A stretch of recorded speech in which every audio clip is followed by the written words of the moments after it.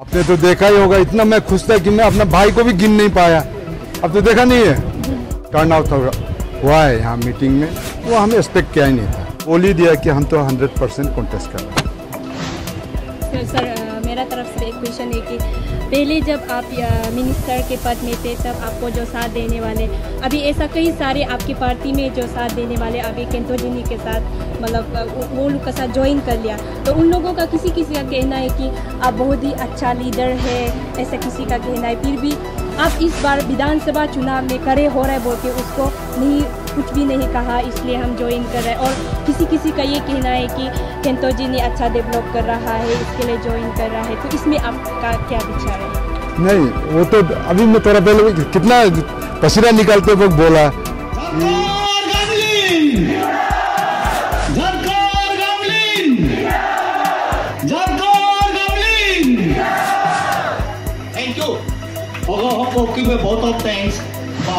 Iya Tony. Ya to kam la alo le dun kop la mu boring number chin ya ka ka ila ko chin hilo ga lo go ago nun nam yo go men tom tom hemma pam nang muma mu ba ka ke kuba ngono ke ex min star ne ok mu ge nam dun ma ajiwa men jit ko em higi agom higi ajari na gyom ngono ex-minister ga gambling sar ga hing bensa uda kongun ortu nam mai amango toya hila gamblang la yedu lu nam isgo lu ka isgo lu ka nam me bola am dehi wo akaran ne ekam full bill ja ba do be mujla namba okke sisi payment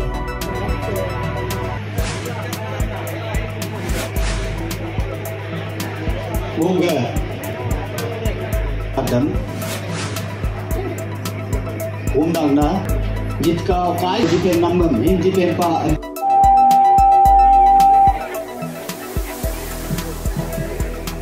Halo, halo. Assolutamente scusate, Maika Kami my baby. And tuna na ko na may nalaka. Hello, hoga aro ko nai. Hello, ay ga kus mo ma apakala hello. Okay. Declaration pass हो आप media person को बहुत बहुत धन्यवाद जो आज हमारा programme को, मेरा डिक्लेरेशन प्रोग्राम को आपने कवर किया। इसके लिए मैं तय दिल से आप सबको धन्यवाद देता हूँ। अभी जो आप पूछना है, हमने तो बोल तो बहुत दिया है, मगर उसमें से कुछ पूछना है तो आप पूछ जी सर 2019 के बाद, काफ़ी समय के बाद आप अपने समर्थकों के बीच इस तरह से पब्लिकली आए हैं। किस तरह की उम्मीदें थी? आज का दिन कैसा गया? सबसे पहले तो ये बताइए, क्या कुछ रहा आपने तो देखा ही होगा, इतना मैं खुश था कि मैं अपना भाई को भी गिन नहीं पाया। अब तो देखा नहीं है। तो मैं एक्चुअली बहुत खुश हूँ, क्योंकि आज जो पब्लिक टर्न आउट हुआ है यहाँ मीटिंग में, वो हमें एक्सपेक्ट किया ही नहीं था। क्योंकि आज तक हमने कैंपेन किया नहीं। कहीं बस्ती गया नहीं, किसी को बोला नहीं, सो हम इलेक्शन मगर ये लोग खुद यहाँ आता है, हमको मिलता है, नहीं, आप हमको हम हमको लेके चलिए, आप हम लोग को ऐसे बीच में छोड़ दिया। तो मैं तो 2019 में जब हमने हमको पार्टी ने टिकट नहीं दिया तो मैं पार्टी डिसिप्लिन का हिसाब से अ, मैं पॉलिटिक्स तो गिव अप ही कर दिया था। आप मेरा घर जाता तो पता चलता। हम उसको लोकल घर बनाया था उसको हम मॉडर्नाइज कर दिया। जो अ, हमारा आग जलाने का जगह था उसको हमने ग्रेनेड लगा दिया। ऐसा करके मैं तो सचमुच गिव अप किया था। वो कोरोना का बाद जब हमारा पुराना चाहने वालों ने कहा कि चलो, अब इतना दिन हो गया हम लोग आपस में मिले नहीं कोविड के वजह से भी। तो चलो, नदी में जाते हैं, मछली मारते हैं, हमारा जो हिवक पदुम करेगा, चलो पिकनिक खाएगा। तो इसी सिलसिले में मैं आना जाना करता रहा तो फिर बाद में उन लोग डिमांड करने लगा, नहीं, आप, हमको लेके चलना है, क्योंकि आप जिस ढंग से हम लोग को छोड़ दिया, हम लोग अभी अनाथ जैसे हो गया तो वहाँ हम लोग अपना को एडजस्ट नहीं कर कर पा रहा है और वो हम लोग को एकोमोडेट भी नहीं कर रहा है। तो उसमें ग्रुपिज़म है तो इसलिए हम आप ही को चाहता है कि ट्वेंटी फोर में आप हमको लेके चले। तो आपने देखा भी होगा मैं बहुत अ, समय से चुपचाप ही था। कोविड की वजह से चुपचाप फिर उसका भी एक्चुअली हमारा शुरू हुआ है 22 2022 लास्ट पार्ट से। ये पिकनिक ठंडा विंटर का समय से मेरा तरफ़ शुरू हुआ। तो ये अभी जो टेंपो आप देख रहा है तो आप खुद ही अंदाज़ा लगाइए पब्लिक क्या पब्लिक का रिएक्शन को आप देख के आप ही खुद बता सकता है। हम तो नहीं बोल रहे। जी सर सर आपने काफ़ी समय बाद चुप्पी तोड़ी है तो जनता ये भी जानना चाहेंगी हालाँकि आज आपके समर्थकों ने तो सुन लिया पब्लिक स्पीच में कि आप इस बार कौन से पार्टी से मतलब टिकट की क्या आप उम्मीद कर रहे हैं कौन से पार्टी से आप खड़े उम्मीदवार खड़े होने वाले हैं? क्योंकि पिछले विधानसभा चुनाव के दौरान आपको पेमा खांडू लेड सरकार की तरफ़ से पार्टी की तरफ़ से टिकट नहीं दिया गया था और सर सुनने में ये भी आया कि एनपीपी में पार्टी विरोधी गतिविधियों के चलते आपके कुछ एक्टिव मेंबर्स को अंडर सस्पेंशन भी रखा गया है। इन सारे मुद्दों पर सर क्या कुछ कहना चाहिए ये तो मैं पहले लेक्चर में भी बोल चुका हूँ। हमारा फॉर्मर प्रेसिडेंट ने भी बोला है। वो एलिगेशन जो है तो मैं यही बोलूँगा कि अगर हम एनपीपी में है, था तो उन लोग प्रूफ करना चाहिए। कल इंक्वायरी हुआ प्रूफ तो नहीं कर सका। वो इंक्वायरी रिपोर्ट कहता है कि इसका सस्पेंशन लिफ्ट करो। शायद वो होने वाला था तो उस दिन मीटिंग नहीं हो पाए नहीं हुआ। नहीं तो रिपोर्ट तो ऐसे चला गया कि इसका सस्पेंशन रिवोक होना चाहिए। तो अभी कुछ दिन दिन महीने में तो रिवोक हो ही जाएगा। इसका मतलब सर पेमा खांडू सरकार पर या पेमा खांडू पर आपका भरोसा अभी तक कायम है सर? हाँ मैं तो बोल रहा हूँ कि आज भी वो जब बोल रहा है तो मैं तो पहले से बोल रहा हूँ क्योंकि पेमा तो सच बोलने से मेरे बेटे के उम्र का है। तो मैं उनका बड़ा पिताजी का साथ ही काम किया उन्हीं का साथ विधायक बना उन्हीं को। वो तो पेमा कांदू जब आ, ये था बिज़नेस कर रहा था। तो हम ऑलरेडी हम 2009 में तो एमएलए बन चुका था। ये जब उनका पिताजी का देहांत हुआ, तभी हमारा लेथ सीएम हमारा जरबम गामलिन, हम लोग मिल के ही उसको एमएलए बनने से पहले उसको मिनिस्टर बना के फिर एमएलए बना के हम लोग ने वहाँ उसको मिनिस्टर भी दिया और वो जटवांग आज उसी सिलसिला को जारी रख के वो अभी आज भी चीफ मिनिस्टर है।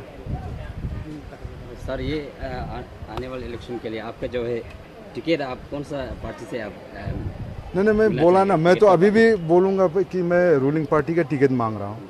और अगर देना नहीं देना वो सीएम साहब का है और हाईकमान का बात है। हाईकमान अगर बोलेगा नहीं देगा तब हम क्या करना है? उनको हम पूछेगा।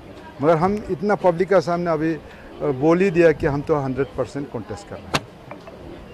सर सर मेरा तरफ़ से एक क्वेश्चन है कि पहले जब आप मिनिस्टर के पद में थे तब आपको जो साथ देने वाले अभी ऐसा कई सारे आपकी पार्टी में जो साथ देने वाले अभी केंटोजिनी के साथ मतलब वो- वो लोग का साथ ज्वाइन कर लिया। तो उन लोगों का किसी किसी का कहना है कि आप बहुत ही अच्छा लीडर है ऐसा किसी का कहना है। फिर भी आप इस बार विधानसभा चुनाव में करे हो रहे बोल के उसको नहीं कुछ भी नहीं कहा, इसलिए हम ज्वाइन कर रहे हैं। और किसी किसी का ये कहना है कि केंटोजी ने अच्छा डेवलप कर रहा है, इसके लिए ज्वाइन कर रहा है तो इसमें आपका क्या विचार है? नहीं, वो तो अभी मैं थोड़ा पहले कितना पसीना निकालते वक्त बोला कि हम तो बोल रहे हैं कि उसने भी किया होगा। हम कभी नहीं बोलते ये नहीं किया। मगर हम ये बोलते हैं, अगर काम शुरुआत कौन किया, कौन ख़त्म किया, किसके बल पे किया, किसने मसाद दिया, किसने मदद किया, उसको भी तो ये थैंक्स देना चाहिए ना। जैसे मैंने बोला नेसिद का वाटर सप्लाई का बोला। क्योंकि जैसे आपको सिंपल आप तो गवर्नमेंट का बारे में मालूम नहीं। हम तो कैबिनेट में रह चुका है। तो गवर्नमेंट जैसे सेंटर बोलेगा कि इस बार नॉर्थ ईस्ट को हम 200 करोड़ दे रहा है। तो सीएम का ड्यूटी बनता है वो कैबिनेट बैठ के, कहाँ क्या ज़रूरी है, उसको वो डिवाइड करता है। तो इसलिए हम बोलता है कि अगर दिल्ली से पैसा लाना है तो एमपी या यूनियन मिनिस्टर साथ देना पड़ेगा। स्टेट में आने का बाद अगर स्टेट से अगर हम कुछ हिस्सा माँगता है तो सीएम साथ देना पड़ेगा। सीएम का ब्लेसिंग बिना कुछ होने वाला नहीं। इसलिए मैं थोड़ा पहले वो मीटिंग में भी मैं यही स्पीच किया था कि जिसने भी कंट्रीब्यूशन किया, जिसने भी साथ दिया, उसको तो भूलना नहीं चाहिए। उसका नाम लेने में क्या तकलीफ़ है, क्या हर्ज है, यही हम बोला तो सर किसी किसी ये भी कहना है कि ये बार आपको रुक जाओ। केंटो हाँ। जीनी को अनकॉन्टेस्ट उतने दीजिए वो इतना अच्छा डेवलप कर रहा है। ऐसा कहना है तो उसमें आपका क्या विचार है? नहीं मैं एक बुकलेट बनाया था। वो बुकलेट को देखिए ना तो उनका बुकलेट मांगिए।